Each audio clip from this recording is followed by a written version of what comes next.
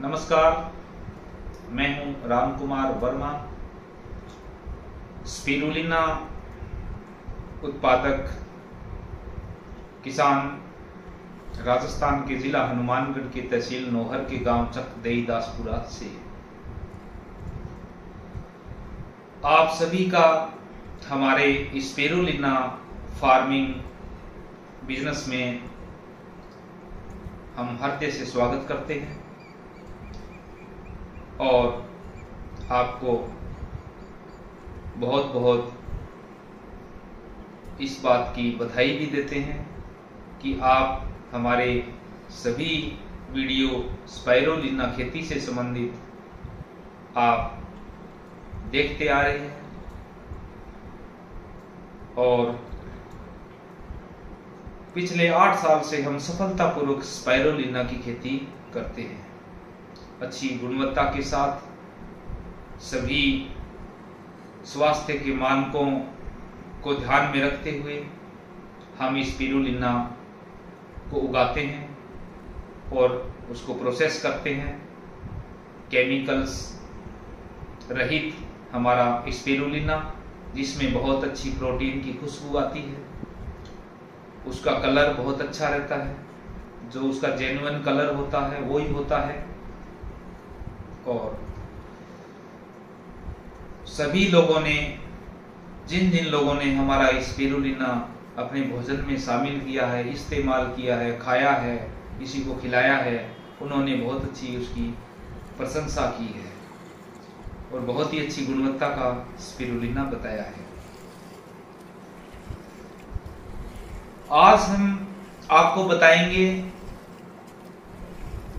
कि हमारी तरह आप भी स्पिरुलिना फ़ार्मिंग बिज़नेस को पार्ट टाइम शुरू करते हुए आत्मनिर्भर इसमें कैसे बन सकते हैं?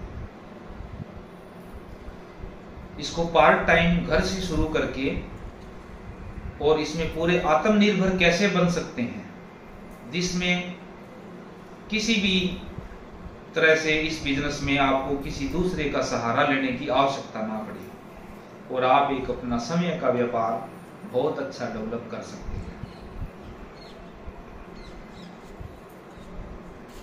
आज हमारे शुरुआत से लेकर अब तक की जो कहानी है इस बिज़नेस में स्पायरोलिना फ़ार्मिंग बिज़नेस में, वो हम आपको बताएँगे, जिससे आपको अच्छे से ये समझ में आ जाएगा कि किस तरह से हमने शुरू करके और आज एक आत्मनिर्भर प्लेटफॉर्म हमारा स्थापित किया है, जिसमें हम किसी पे निर्भर नहीं है। ना मार्केटिंग के लिए किसी पे निर्भर हैं, ना प्रोसेसिंग के लिए किसी पे निर्भर हैं, ना उगाने के से संबंधित, इसकी फ़ार्मिंग से संबंधित भी निर्भर नहीं है। किसी भी हम आत्मनिर्भर काम कर रहे हैं तो हमने सबसे पहले आत्मा परियोजना के जो वैज्ञानिक है हमारे,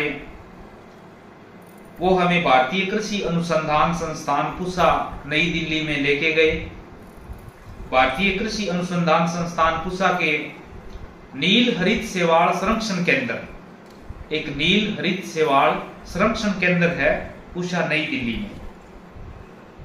वहाँ के जो प्रधान वैज्ञानिकों की टीम ने हमें स्पिरुलिना खेती के बारे में विस्तार पूर्वक बड़े प्यार से सिखाया।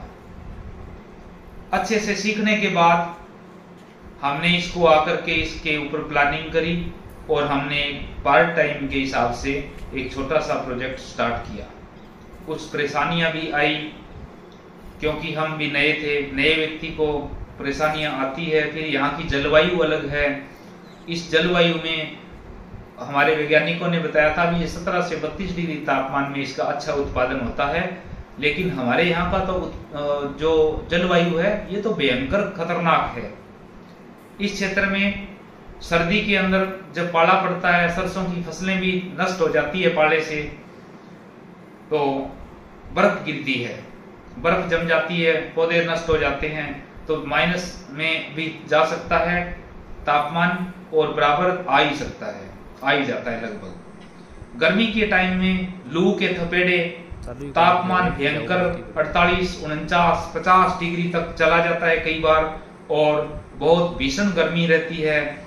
और अब की बार इस साल तो करीब 50 डिग्री से ऊपर 55 डिग्री तक भी पहुँचने की कोशिश की थी हमारे क्षेत्र में तापमान में। लेकिन उसी उस समय भी हमारा इस स्पेरुलिना बराबर एक अच्छी गुणवत्ता के साथ उत्पादन देता रहा। कोई उसमें समस्या नहीं आई। सर्दी के मौसम में भी यहाँ जो कल्चर जो एडजस्ट हुआ है, ये कभी मरता नहीं है। तो कोई समस्या नहीं आई। पहली बार स्टार्टिंग में कुछ समस्याएँ आई थी। धीरे धीरे उसका मॉडिफिकेशन हुआ। सीखते गए, समझते गए। और पहली बार जब हमने 250 ग्राम उत्पादन मिला, तब हमने इसको खुद ने खाया। बड़े मोटिवेट के मोटिवेटेड होकर के हमने, कि हमने खुद ने पैदा किया है, हमारे प्लांट में पैदा हुआ है, हमने अपने हाथों से इसको उगाया है तो हम क्यों नहीं इसको सबसे पहले खुद खाएँ। हमने खुद ने खाया, उसके बाद हमें अच्छा इसका फीलिंग आया, फिर और भी गुणवत्ता में सुधार किया, और उसके बाद उत्पादन हुआ, और साथ में पूरा ध्यान दिया, और गुणवत्ता युक्त पूरी साफ़ सफ़ाई के साथ अच्छी तरह से पहले महीने में करीब पाँच किलो उत्पादन हमें मिला था। पाँच किलो उत्पादन मिला। उसके बाद हमने प्रयोगशाला में उसको जाँच के लिए भेजा।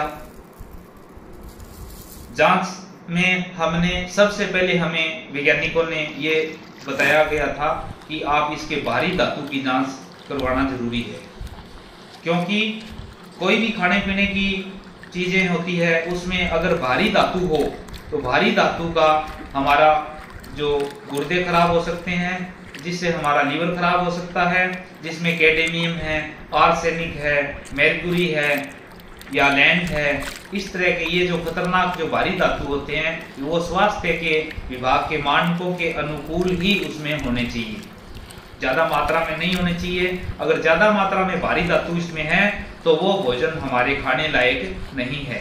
उसको अच्छा नहीं मानते। वो स्वास्थ्य के लिए हानिकारक होता है।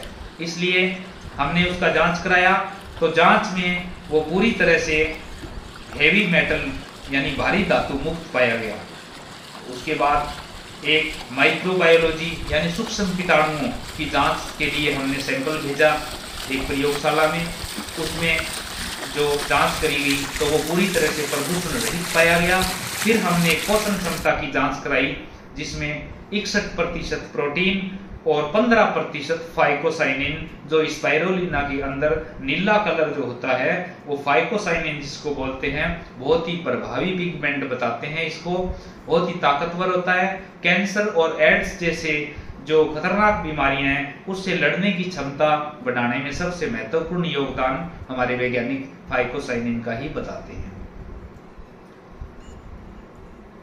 ये सब जाँच होने के बाद में हमने 50-50 ग्राम की डिब्बी बाज़ार से छोटी छोटी लेकर के उसमें 50-50 ग्राम पाउडर डाल दिया और उसको पैक करके और हमने 20, 30, 50 आसपास के जानकार लोगों को हमारे फार्म पर बुलाया और उनको स्पिरुलिना के फ़ायदे के बारे में बताया। उसके बाद उन लोगों ने 50-50 ग्राम लेके 20 से 25 लोगों ने हमारा स्पिरुलिना इस्तेमाल करना शुरू किया। महीने, दो महीने खाने के बाद में अच्छे परिणाम आए। फिर हमने 100-100 ग्राम के डिब्बी में डाल के और उसको लोगों को बताना शुरू कर दिया। लोगों ने खाना शुरू कर दिया। हमने उसके बिस्किट में मिला के बिस्किट बनवाए घी के तो बिस्किट में बहुत आनंद आया। बहुत स्वादिष्ट बिस्किट बने। हम खुद खाते रहे। और हमने आसपास के लोगों को जब दिखाया, उसको खिलाया, बताया तो बहुत ही लोगों ने उसकी, उसको अपनाया और बिस्कुट के रूप में भी स्पैरोलिना हमारा बिकने लग गया। उसके बाद हमने एक फर्म बनाई। फर्म बना के हमने एक F S S A I का जो फ़ूड लाइसेंस है वो लिया और फ़ूड लाइसेंस लेने के बाद में हमने उसके ऊपर हमारा एक लेबल लगाना शुरू कर दिया कि ये स्पाइरोलिना हमारा स्पाइरोलिना है, ये इतना शुद्ध स्पाइरोलिना है, ये इसकी जाँच की रिपोर्ट है और आप इसको अपने भोजन में शामिल करिए और लोगों को बताना शुरू कर दिया। जो लोग हमारे ग्राहक साथ जुड़े थे स्टार्टिंग में, उन्होंने भी आगे लोगों को प्रचार करना शुरू कर दिया। क्योंकि स्पाइरोलिना जो खाते हैं, उनको थोड़ा, अगर सुबह उन्होंने डाइट में स्पायरोलिना शामिल किया है तो उसकी रात, देर रात तक वर्किंग करने के बाद भी उसकी जो ऊर्जा का स्तर है, वो कम नहीं होता। इतना ये एनर्जेटिक है स्पायरोलिना कोई भी कमज़ोरी ये छोड़ता नहीं है आलस्य नहीं आने देता बॉडी को एक कमांडो की तरह एक्टिवेट रखता है स्पायरोलिना बासरते सही गुणवत्ता का होना चाहिए। हमने ये वो सारा पाउडर ऐसे करते करते हमारा लगभग 15 से 20 किलो महीने का उत्पादन शुरू हो गया और हम, हमारा जो करीब 10 किलो तो हम बेच रहे थे पाउडर को रिटेल में। रिटेल में अच्छे दामों में बेच रहे थे। उसके बाद हमने मार्केट से कैप्सूल के कवर खरीदे और हमने कैप्सूल एक मैनुअल छोटी सी मशीन खरीदी और एक अच्छे साफ़ सफ़ाई के साथ हमने कैप्सूल तैयार करके उसके टेस्टिंग के साथ और हमने 60 साठ कैप्सूल के डिब्बी बनानी शुरू की, बाहर से लेबल बनवाए, दिल्ली से डिब्बी खरीदी और उस तरह से हमने एक बैच बनाना शुरू कर दिया। और वो कैप्सूल हमारे, हमने लोगों को बताए लोकल क्षेत्र में ही बिकने लग गए, जिससे कुछ प्रॉफिट और एक्स्ट्रा अपने लग गया और लोगों ने बहुत अच्छे से उसको अपनाया। फिर कैप्सूल का कवर जो होता है, वो थोड़ा महँगा होता है तो उसकी एवज में वो कैप्सूल महँगे हो गए तो हमने क्या किया? एक टेबलेट बनाने की मशीन ली और हमारे एफ़ एस एस आई के ऑथराइड जो ट्रेनिंग सेंटर होते हैं, वहाँ फ़ूड सेफ्टी सुपरवाइजर की फ़ूड प्रोसेसिंग करने की, कि अच्छी तरह से गुणवत्ता युक्त अपने कोई भी खाने पीने की चीज़ें या टेबलेट कैसे बनाते हैं पैकेजिंग कैसे करते हैं, साफ़ सफ़ाई का क्या ध्यान रखना होता है क्या क्या उसके मानक होते हैं स्वास्थ्य विभाग के। उस उस मानकों की पूरी हमने फ़ूड सेफ्टी सुपरवाइजर की एक ट्रेनिंग ले ली। ट्रेनिंग लेने के बाद में सब सीख लिया। सीखने के बाद में हमने एक टैबलेट बनाने की मशीन लगाई और टैबलेट बनाने की टेक्नोलॉजी विकसित करके और हमने विदाउट बाइंडिंग एजेंट की एकदम प्योर टैबलेट पूरे उसको मॉइस्चर कंट्रोल करके क्वालिटी मेंटेन के साथ साथ में एकदम 100 प्रतिशत प्योर टैबलेट हमने बना के और पैकिंग करना शुरू कर दिया और उस टैबलेट को, वो टैबलेट हमारा पूरे देश भर में आज लोग बाई कोरियर से, डाक से मंगवाते हैं यहाँ लोकल के लोग यहाँ लेके भी जाते हैं और पूरा का पूरा माल हमारा 100 प्रतिशत, यानी 20 किलो जो हमारे इस सेंटर का जो उत्पादन था 20 का 20 किलो हम टैबलेट के रूप में आज बेच देते हैं। हमारे साथ कुछ तीन चार जो और अन्य जो किसान हैं, उन्होंने एक छोटा प्लांट 20 बाई 50 का मास्टर प्लांट जिन्होंने शुरू किया है, उनसे जो अगर उनके पास जो माल बचता है, वो भी हम खरीद कर लेते हैं आजकल। खरीद करके उनकी भी हम गोलियाँ बना देते हैं और मार्केट के अंदर धड़ल्ले से बिकता जा रहा है। दिन दिन उसकी डिमांड बढ़ती जा रही है। जो लोग कहते हैं कि इसका बाज़ार कहाँ है? इसका बाज़ार हमारे आसपास के क्षेत्र में इतना बड़ा बाज़ार है कि सिर्फ़ हमें समझने की आवश्यकता है। हर एक इंसान की ज़रूरत है। हमारे देश के अंदर स्वास्थ्य से संबंधित ध्यान रखने वाले लोगों की कोई कमी नहीं है। सिर्फ़ उन तक आपका प्रोडक्ट एक सही जानकारी के साथ पहुँचाने की ज़रूरत है, क्योंकि सब लोग ये चाहते हैं कि हमारा स्वास्थ्य बेहतर बना रहे, भविष्य में हमें कोई कमज़ोरी ना आए, हमें कोई बीमारियाँ ना लगे। इसके लिए सभी लोग जो है, एक अच्छा स्वस्थ खाना पीना पसंद करते हैं। एक अच्छा एनर्जेटिक फ़ूड खाना पसंद करते हैं। आप, आपको इसके बारे में अच्छी तरह से सीख करके और लोगों तक एक गुणवत्ता युक्त, यानी पूरी ईमानदारी के साथ, पूरी गुणवत्ता को मेंटेन करते हुए आपको लोगों तक इसके बारे में एक सही जानकारी पहुँचाने की ज़रूरत है। जहाँ भी आप जाएँगे, जिस भी व्यक्ति को आप विस्तार पूर्वक स्पायरोलिना के फ़ायदे के बताएँगे और आप एक विश्वास दिलाएँगे कि ये हमारा स्पिरुलिना है, वो पूरी तरह से प्रदूषण मुक्त है और आप जाँच करा लीजिए, आप इसको चेक करिए, आप इसको इस्तेमाल करिए और आप इसके परिणाम देखिए। आप अन्य परिवार और रिश्तेदारों को भी इसके बारे में बताइए ताकि भविष्य में आपके स्वास्थ्य से संबंधित कोई समस्या पैदा ना हो। वो एक, एक अच्छा एनर्जेटिक फ़ूड है ताकि एक लोगों को ये फ़ायदा होता है इससे कि ज़्यादा से ज़्यादा उनको इससे ऊर्जा मिलती है। ये रोग प्रतिरोधक क्षमता बढ़ाता है वायरस से लड़ने की क्षमता बढ़ाता है कैंसर जैसी महामारियों से लड़ने की क्षमता बढ़ाता है एड्स जैसी महामारियों की से लड़ने की क्षमता बढ़ाता है। और हार्ट अटैक्स के खतरे को भी कम करने में मदद करता है। हर तरह की कमज़ोरी, शारीरिक और मानसिक कमज़ोरी को दूर करता है। ये सब जानकारी लेकर के हम अगर अपने आसपास के क्षेत्र में लोगों को एक जागरूकता के उद्देश्य से बताते हैं तो आपका स्पिरुलिना हमारा स्पिरुलिना जो है, वो जितना आप उत्पादन करेंगे, वो पूरा का पूरा हमारे क्षेत्र के लोग ही उसको इस्तेमाल करेंगे। क्योंकि उन तक जानकारी पहुँचना ज़रूरी है। जब हम किसी को बताएँगे नहीं कि ये क्या चीज़ है स्पेरुलिना हमारे लिए क्यों ज़रूरी है और क्यों खाना चाहिए इसको और क्या इसके फ़ायदे हैं तो कैसे सभी को पता चलेगा कि स्पाइरुलिना क्या है। इस तरह से हमने इस प्लेटफॉर्म को पार्ट टाइम शुरू करते हुए आज पूरे हम फुल टाइम इसका बिज़नेस कर रहे हैं। अगर आर्थिक लाभ की बात करें तो आर्थिक लाभ तो एक साइड का हिस्सा है। जब हम कोई भी कार्य करेंगे, ईमानदारी के साथ करेंगे तो हमें आर्थिक लाभ तो मिलेगा ही मिलेगा। लेकिन इस बिज़नेस में आपको एक आत्म संतुष्टि भी मिलेगी कि हमने एक अच्छी चीज़ उगाई, जो हमारे स्वास्थ्य से संबंधित है, और अच्छी चीज़ पैदा करके हमने इतने लोगों को खिलाया है, जिनको बताया है, उन्होंने खाया है, और उन्होंने हमें बड़ी दुआएँ दी है। हमें आशीर्वाद मिला है उन सब का कि हमें एक अच्छी चीज़ आपने दी है, जिससे हमारी सारी कमज़ोरी दूर हो रही है।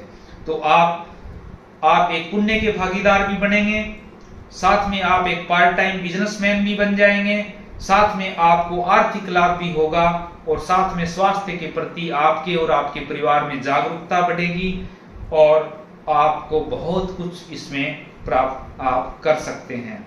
आज के वीडियो में बस इतना ही। बाकी आपका कोई भी विचारधारा, कोई भी विचार है स्पिरुलिना फ़ार्मिंग बिज़नेस से संबंधित, या आपका कोई सवाल है, आप हमारा वीडियो हमारे सारे वीडियो पूरे आप देखिए। सारे, हर एक बात का आवश्यकता है आपको, उसमें आपको संतोषजनक उत्तर मिले। नहीं तो आप कमेंट बॉक्स में अपने विचार को अवश्य लिखें और या हमें व्हाट्सएप कर दें। और हमारे साथ आप जुड़े रहिए। भविष्य में कुछ न कुछ जो भी हम नया कर रहे हैं, वो हम आपके साथ समय समय पर साझा करते रहे हैं, साझा करते रहेंगे। आप पार्ट टाइम बिज़नेस बिना किसी झिझक के स्पायरोलिना का आप शुरू करके और सभी तरह के लाभ आप प्राप्त करें।